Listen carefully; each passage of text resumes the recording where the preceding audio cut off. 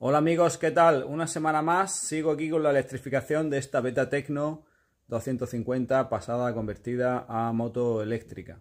Eh, esta semana mmm, estamos a mitad de semana y llevo ya, bueno, se echa una, un buen montón de cosas, aunque me parece que no se avanza mucho porque son cosas meticulosas. Por ejemplo, mmm, bueno, mejor os lo enseño, dejadme.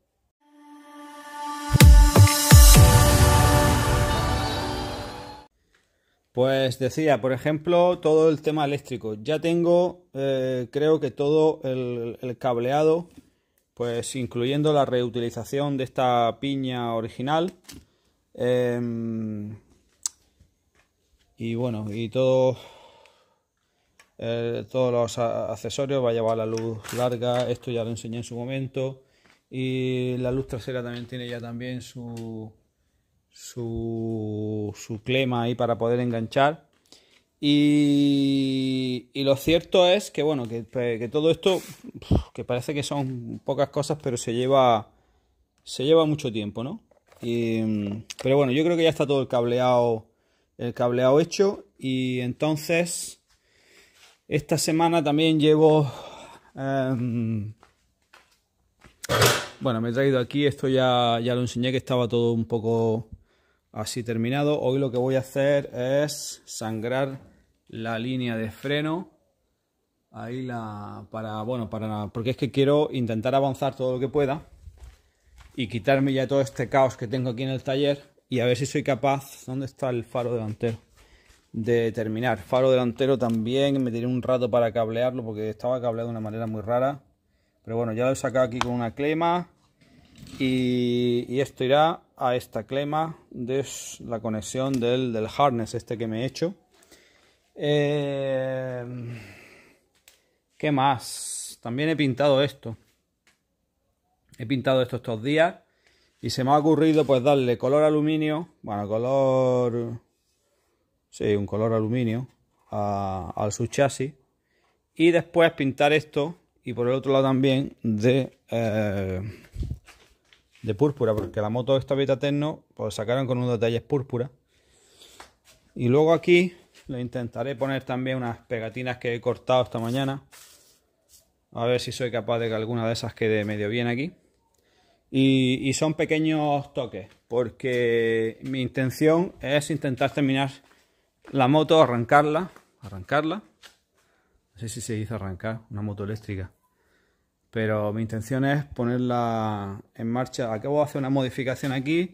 El del otro lado no lo puedo montar porque aunque lo tenía hecho este tirante, eh, tengo que meter la batería primero, que tendré que quitársela a la KXE.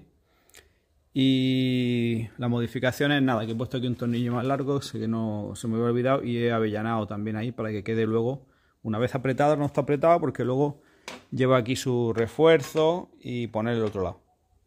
Entonces eso lo tengo pendiente. Pero vamos, que básicamente voy a empezar a... Voy a terminar lo del freno ahora mismo, que eso puede llevar un rato. Puede llevar 5 minutos o media hora. Ah, otra cosa interesante que tampoco os he enseñado esta semana. Y que me ha retrasado un poco porque la idea mía con el botón de inicio, de, de, de ignición, de, digamos, de, del controlador, era poner un interruptor que os enseñé por aquí. Vamos a ver. Vamos, que seguro que era poner un interruptor de este tipo que tenía, que tenía yo por ahí. Y ya lo tenía cableado y todo. ¿Qué pasa?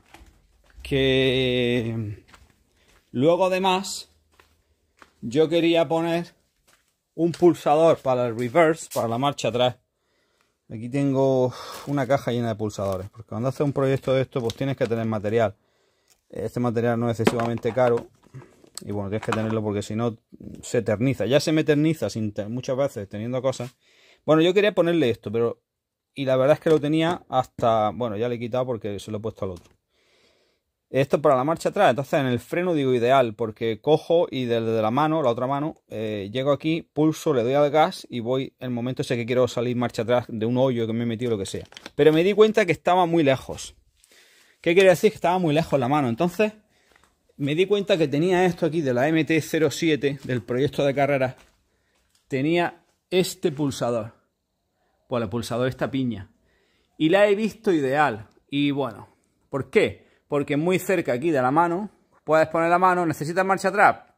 Fijaros, el pulsador que sería de arranque en una moto de explosión, pues aquí le pincha y da un poquito para acá, sale y ya otra vez para adelante. Si te quedas en otro sitio, y ya te sale. Está perfectamente cerca, muy eso.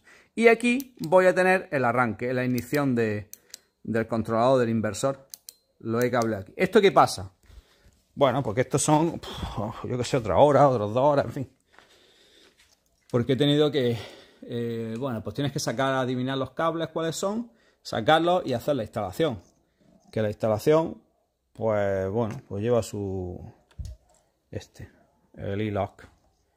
Lleva, todo esto pues lleva su, su, rato. Pero en fin, que ha sido, es un avance muy bueno, porque ese se va a quedar ahí, como veis, perfecto para poder accionarlo de una manera muy fácil. Así que nada, vamos a ver cómo sigue avanzando ahora con todas estas cosas y os voy enseñando. Bueno, dejadme que os enseñe, porque han pasado solo 5 minutos desde la otra grabación. Bueno, ponle 10 o 15. Eh, pero la verdad es que nunca había tardado tan poco en conseguir bombear y sangrar una, una bomba de freno. Y la verdad es que, aunque parece, la teoría se conoce y tal, pero es que hay, hay, hay veces en que se tarda muchísimo por determinados problemas.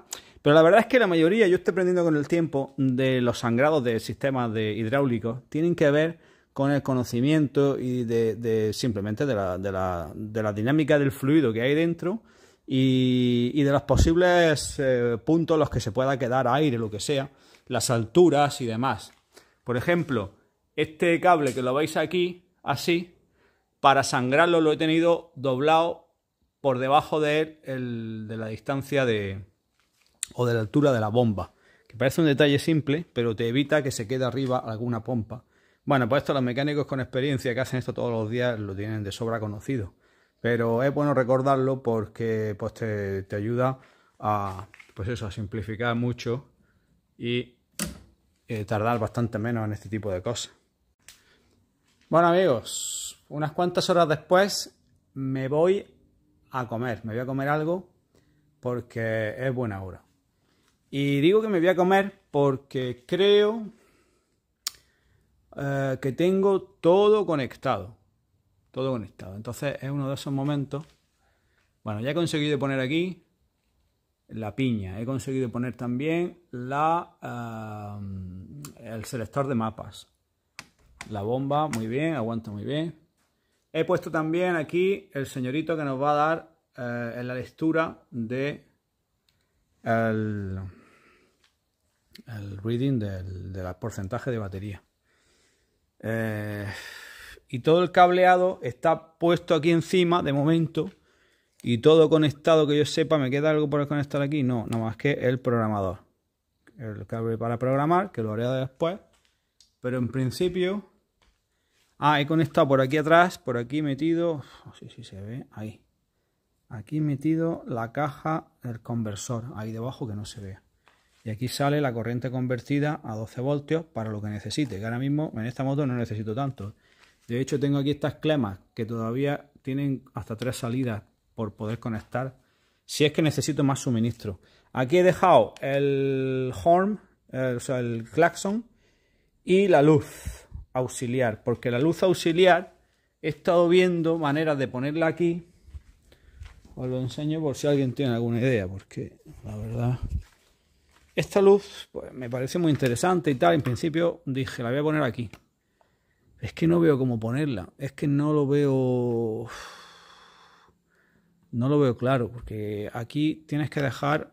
No puedes pegarlo aquí abajo porque entonces le quitas recorrido a la horquilla. Tienes que más bien pegarlo aquí y pegarlo aquí, no sé muy bien ni cómo cogerlo, no sé, a lo mejor, no lo sé. Luego estéticamente no es muy bonita y no sé qué otra le podía poner, alguna minimalista pero que fuera fuerte en 12 voltios.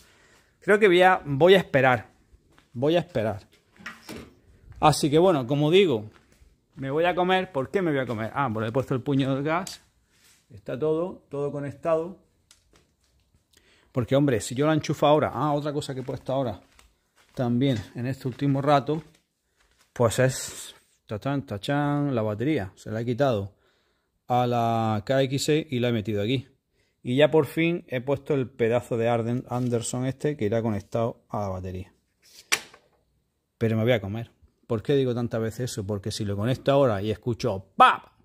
Que revienta cualquier cosa por una mala conexión, en fin, errores que comete uno y más yo, pues puede pasar que entonces me siente mal la comida. Así que me voy a comer tranquilamente y después vuelvo, voy a conectar esto y voy a meterle lo primero al ordenador antes de, hacer, antes de hacer nada, descargar el mapa que me hayan traído en, metido en este botón y cargarle directamente el mapa que tengo en el botón 150 de la KXE, que funciona perfectamente a 120 amperios no, no dará al motor la potencia que puede llegar a dar con este controlador, pero como de momento tengo esta batería y creo que va a ser suficiente también de momento, si luego quiero poner una batería con, que permita más descarga, pues este podría llegar a 180 amperios y de ahí podrán salir otros 7 u 8 caballos que ya sería pues quizá demasiado y todo para el tipo de bueno que se persigue con esta moto, ¿no? Y eso es lo que voy a hacer después, así que mm, vamos a ver, me voy a hacer la comida.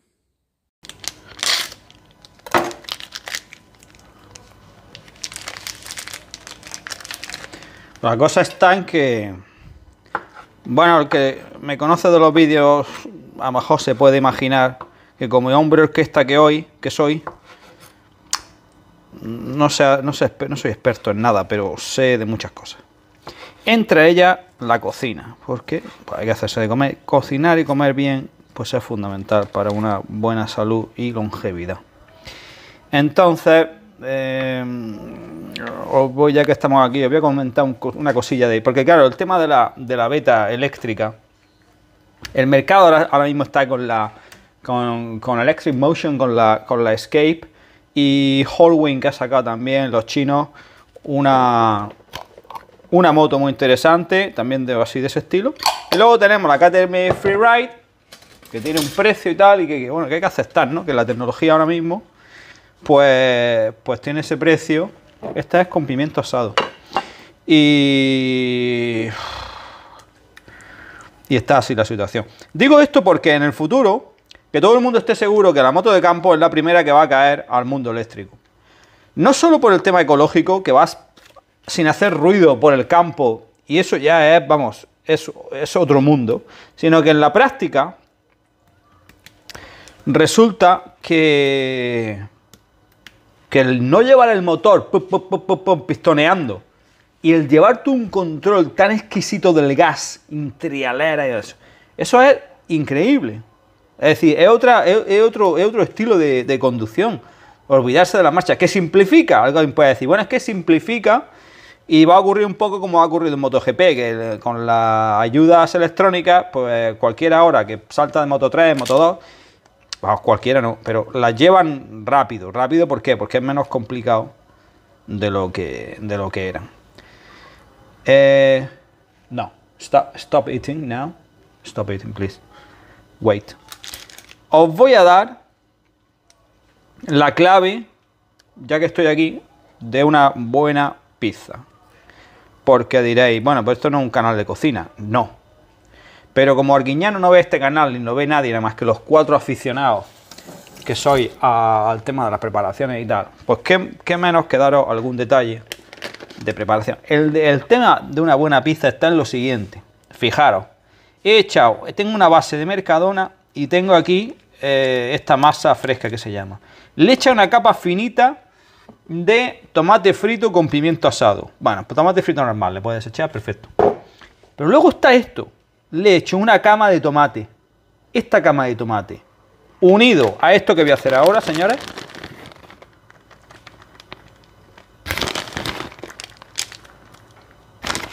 ¿Esto qué es? Mozzarella. Rayada. Esta no sabemos lo buena que es porque no la he probado nunca. Entonces te compras un paquete de estos de 200 gramos, que esta es de la marca barata, debe ser de quien sea, da igual, esto es lo mismo.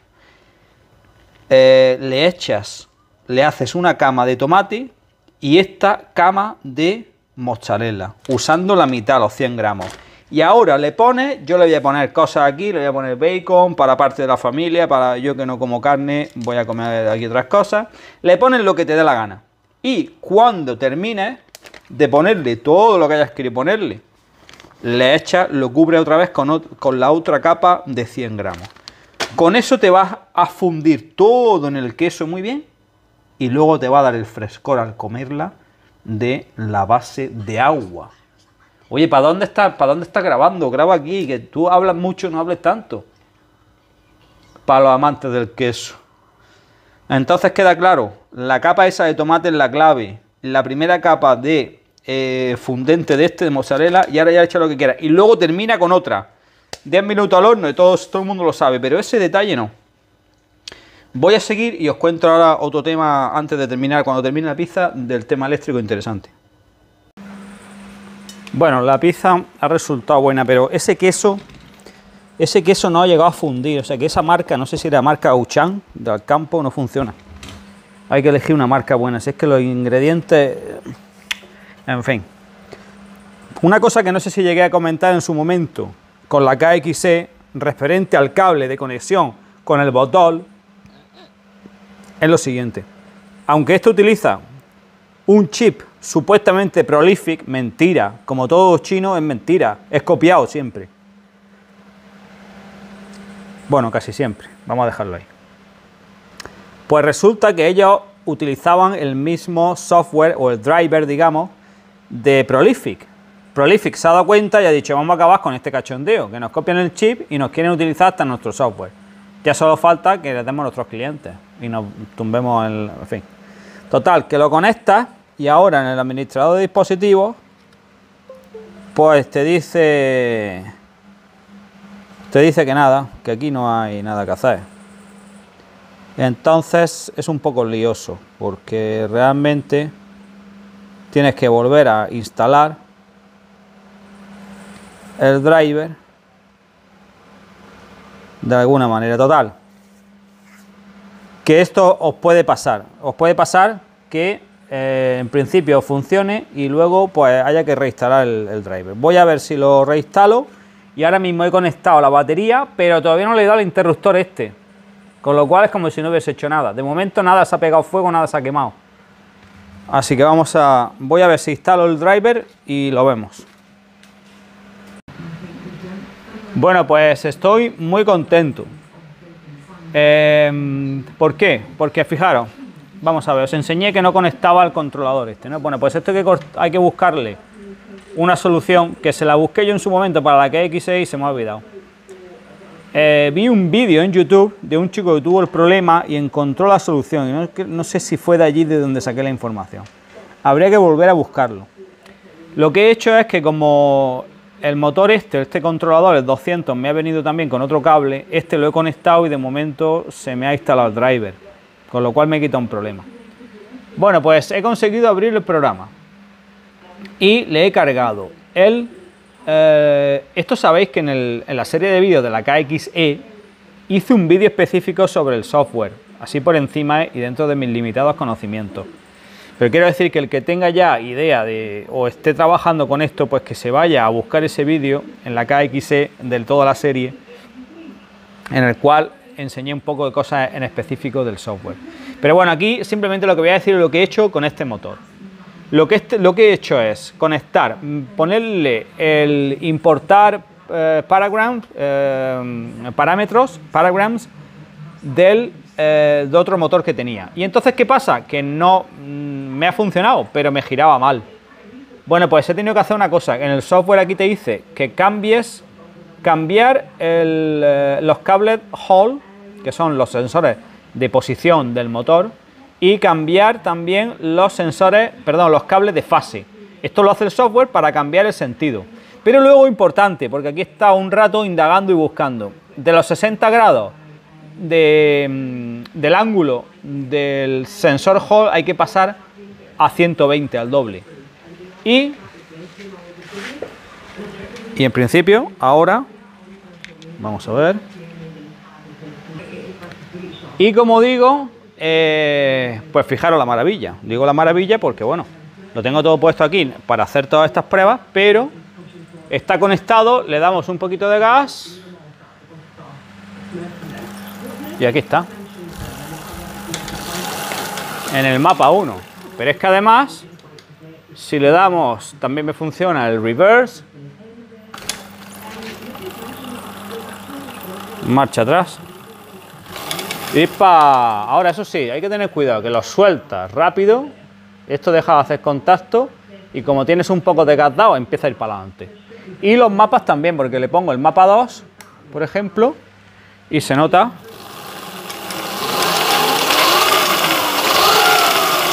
que, esto tira que no veas. Y el mapa 3 pues ya no lo sé, no lo he probado. A ver, vamos a poner el mapa 3, pero supongo que... Sí, el full power también va. Así que, ¿qué queréis que os diga? Voy a comprobar luces un poquito y demás, pero creo que la experiencia es un grado. Y hasta ahora, toquemos madera, ¿dónde hay madera? Eh, aquí. Pues está funcionando. Así que nada, voy a empezar a ocultar, meter cables aquí como pueda e ir montando sus chasis y demás, porque vamos, estoy como loco por subirme. Bueno, después de horas de controlador y de hacer pruebas aquí en la puerta del taller, no lo tengo claro, lo del tema del ángulo. No termina de ir fino el motor. Así que estoy indagando un poco más, estoy indagando. También he tenido problemas con la cadena y el desarrollo he cambiado. Fijaros qué piñón he tenido que encontrar porque se queda largo. ¿eh? Yo había calculado y en la KXS sí me salió bien el cálculo. En esta no lo sé, con la rueda 18 eh, y con ese plato, pero le falta aceleración, le falta punch, que es lo que quiero. Y creo que es que va muy, va muy larga, va para larga. Claro, yo sabía que con este, ¿esto qué es? 56. Yo sabía que necesitaba un 66, pero es que no hay. No lo encontré. Entonces encontré este plato de queda de Yamaha XT, si no recuerdo mal. También vale para Derby Senda, varios ciclomotores creo que lo llevan. Porque tenía esta medida interior, así no, no tenía que tocarle. Pero sabía que seguramente tenía que bajar como ha sucedido. Le he puesto un piñón que he encontrado diminuto, de 10. ¿Y ahora qué, problema me he encontrado? Pues que claro, no recordaba yo que el patín este lo tenía roto. Y, está roto completamente, vamos, solo queda esa parte ahí puesta. Entonces roza, hace ruido. La cadena también es mala. La cadena es mala. Esta cadena la compré porque era dorada y me hacía la gracia que la moto esta llevara dorado, ¿no? Como es naranja y tal. Pero la calidad es malísima, así que he comprado también otra cadena. Total, que la semana que viene a ver si me entero de lo del motor le pongo la cadena y el patín me han dicho que está en Baco, que no hay, que no hay y va a tardar un 15 días en venir. Total, que me voy a tomar 15 días, pero, pero vamos, como llevo siempre una semana de retraso, sacaré el vídeo. Total, que he pedido esto y vamos a ver si con eso soy capaz de dejarla eh, bien. Así que si todo avanza con el plan, aunque pasen 15 días, será la semana que viene cuando espero por fin enseñaros la moto. Eh, con lo dicho, bueno, pues estamos ahí avanzando, pero estamos ahí en el punto final, ah, pero que siempre cuesta dar el último, el último apretón ahí, para llegar y terminar este proyecto, que no es nada fácil, pero que, que yo creo que, que lo vamos a terminar. Gracias por estar ahí como siempre y espero la semana que viene enseñaros la moto en el último episodio de esta conversión de Beta Tecno E. Hasta pronto.